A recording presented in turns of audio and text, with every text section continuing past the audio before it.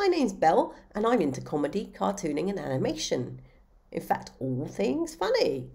I've recently started a course at City Lit in London, whose alumni boasts comedians such as Jimmy Carr and Kerry Godliman. But I'm not doing comedy there, I'm doing a year's course in animation.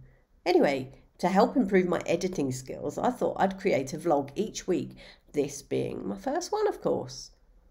This will also help me track my progress, and you never know, might be interesting to watch, and you could learn with me.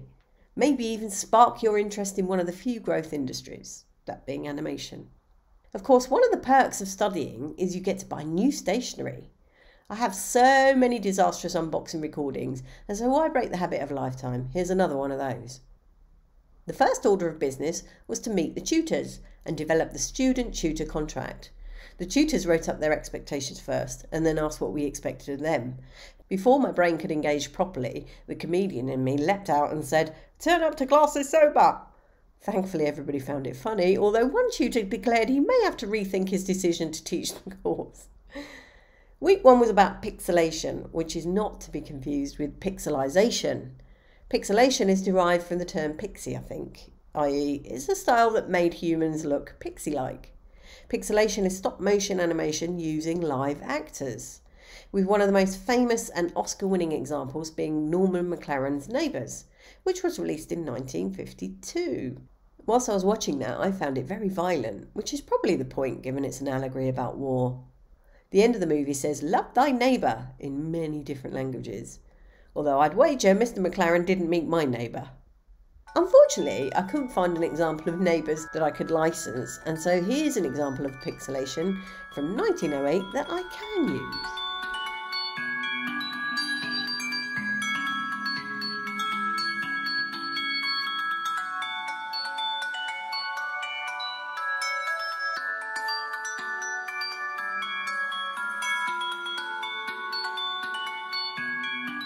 In terms of practical application, in the afternoon we got to have a go for ourselves, and so here's some footage of my classmates being models.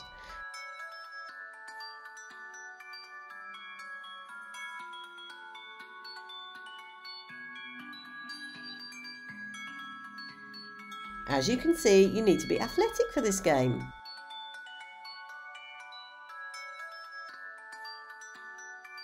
I expect you're wondering where I am. Here I am, the ginger on the right, performing the all-important function of swapping in and out cardboard and plastic, which quite frankly didn't show up in the final footage. Sadly, we ran out of time for me to have a go as a model as well, so I don't have any footage I can share here. Not to worry, I'll definitely be able to show you some animation next week because we're going to start animating on tabletop. That's week one over. See you in week two.